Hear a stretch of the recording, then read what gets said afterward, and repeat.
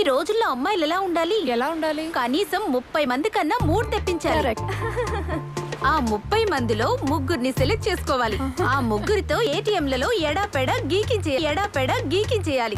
అప్పుడప్పుడు గోకించేసుకోవాలి.